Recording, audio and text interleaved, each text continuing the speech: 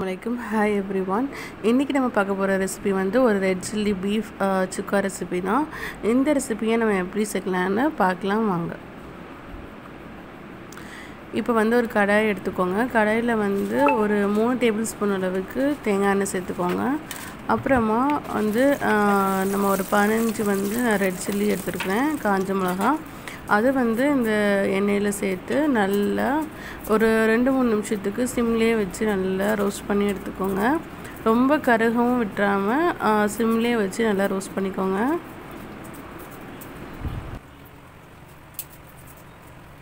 இப்போ வந்து ரோஸ்ட் பண்ணி வச்ச இந்த சில்லியை வந்து நம்ம வேறு பிளேட்டில் ட்ரான்ஸ்ஃபர் பண்ணிக்கலாம். அப்புறமா ஒரு பதினஞ்சு பல் பூண்டு இதே எண்ணெயில் வந்து நான் மீடியம் ஹீட்டில் வச்சு நல்லா ரோஸ்ட் பண்ணிக்கிறேன். இதையும் ஒரு ரெண்டு மூணு நிமிஷத்துக்கு மீடியம் ஹீட்டில் வச்சு நல்லா ரோஸ்ட் பண்ணி எடுத்துக்கோங்க.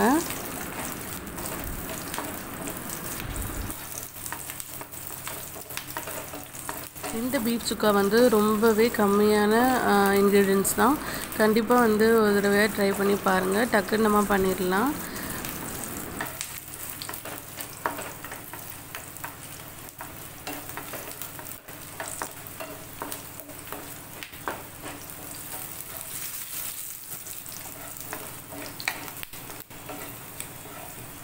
இப்போ இந்த அளவுக்கு வந்து நமக்கு வெள்ளைப்பூடு ரோஸ்ட் ஆனவுடனே இதையும் நம்ம வேறு பிளேட்டில் மாற்றி வச்சுக்கலாம்.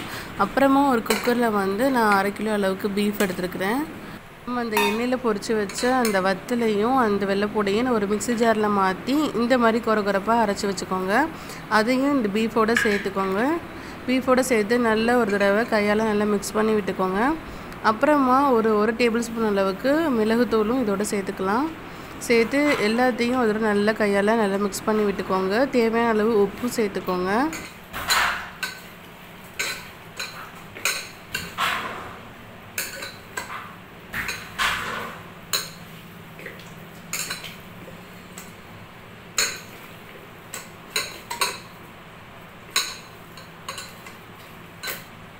நான் கையால் நல்லா ஒரு தடவை எல்லாத்தையும் மிக்ஸ் பண்ணி விட்டுட்டேன். அப்புறமா வந்து ஒரு சின்ன டம்ளர் அளவு நான் தேங்காய் பால் சேர்த்துருக்குறேன். நீங்கள் கட்டியான தேங்காய் பாலோ தண்ணியான தேங்காய் பாலோ கொஞ்சமாக சேர்த்துக்கலாம்.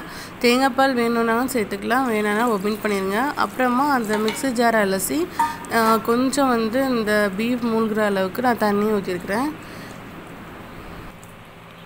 பீஃப் வேகிற அளவுக்கு தண்ணி ஊற்றினதுக்கப்புறமா குக்கரை விசில் போட்டு நல்லா வந்து பீஃபை வேக வச்சு எடுத்துக்கோங்க.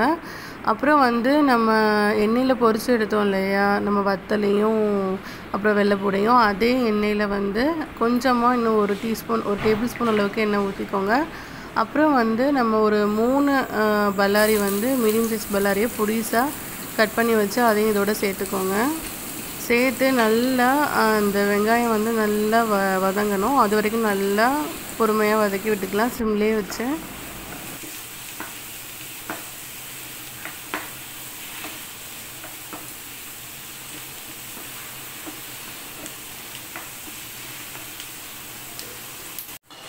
கொஞ்சம் வந்து லிட் போட்டு குக் பண்ணுங்கள் அப்போ வந்து கொஞ்சம் சீக்கிரம் வந்து வதங்கிடும் ஒரு ரெண்டு மூணு நிமிஷத்துக்கு அப்புறம் எடுத்திங்கன்னா நல்லா கொஞ்சம் குக் ஆகிருக்கு வெங்காயம். அப்புறமா நம்ம வந்து குக் பண்ணி வச்சுருந்த அந்த பீஃப் கொஞ்சம் தண்ணி நிற்கும். அதோடு இதை சேர்த்துக்கலாம். இப்போ பாருங்கள் நல்லா வெந்து வந்து நல்ல ஒரு கலர் கொடுத்துருக்கு. நம்ம ரெட் சில்லி சேர்த்ததுனால. இப்போ வந்து நான் அந்த பீஃபை ஆட் பண்ணுறேன் இதோட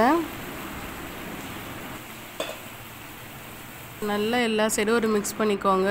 மிக்ஸ் பண்ணிவிட்டு நல்லா சிம்லேயே வச்சு லிட்டை போட்டு ஒரு பத்து நிமிஷத்துக்கு அப்படியே வந்து குக் பண்ணி விடுங்க.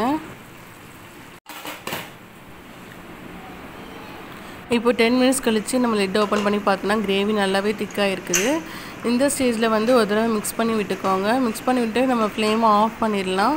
அப்படி இல்லைன்னா நம்ம இன்னும் வந்து ட்ரை ஆகணும்னா இன்னும் கொஞ்சம் நேரம் சிம்லேயே வச்சிங்கன்னா நல்லா ட்ரை ஆகி அந்த கிரேவி சுத்தமாக இல்லாமல் நமக்கு சுக்கா மாதிரி நல்லா அந்த இதில் கிடச்சிடும் மறுபடியும் நான் கொஞ்சம் ஒரு ரெண்டு மூணு நிமிஷத்துக்கு சிம்லேயே வச்சு மூடி விட்டுருக்கேன். இப்போ மறுபடியும் ஓப்பன் பண்ணி பார்க்கும்போது ஒரு தடவை மிக்ஸ் பண்ணி விட்டேன். இன்னும் கொஞ்சம் ட்ரையாக இருக்குது இப்போ நான் ஃப்ளேமை ஆஃப் பண்ணிவிட்டேன் நம்ம பீஃப் சுக்கா வந்து ரெடி ஆகிட்டு இந்த ரெசிபி வந்து ரொம்ப வந்து டக்குன்னு பண்ணக்கூடியது. இந்த ரெட் சில்லி பீஃப் சுக்கா வந்து ரொம்ப கம்மியான இன்க்ரீடியன்ஸ் வச்சு நம்ம பண்ணக்கூடியது. டக்குன்னு பண்ணிடலாம். கலரும் வந்து ரொம்ப நேச்சுரலாக அழகான ஒரு ரெட் கலரில் வந்திருக்குது.